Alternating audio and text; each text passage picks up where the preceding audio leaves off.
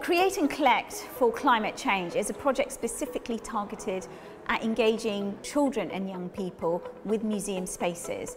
And we're using climate change as a narrative to do that because this is one of the biggest issues facing young people today.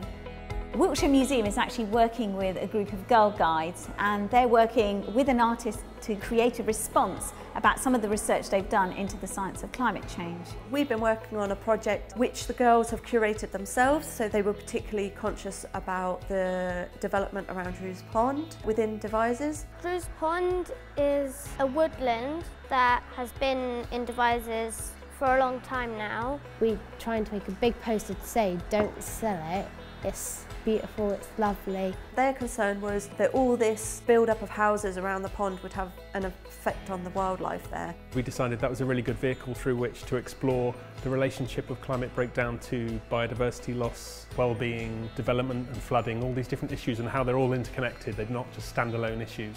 What we basically ended up doing was making a protest banner, each doing their own individual squares, all based around different elements of Drews Pond that they felt was important. The museum, of course, have got their own collections. We've been looking at old maps of the same area, objects and artefacts from the same area. And then within the exhibition, those can all be brought together to tell the story, both past and present and future. It's been really fun.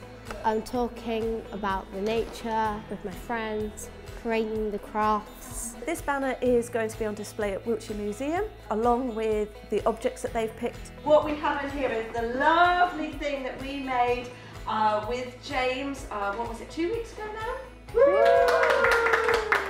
It was cool that it was like able to be displayed and shown like that we are like appreciated of like our Yeah. opinions and That our voices are heard.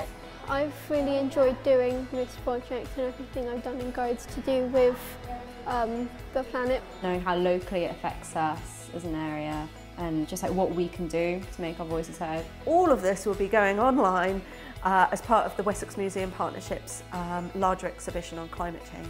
People can come see it from February 2022.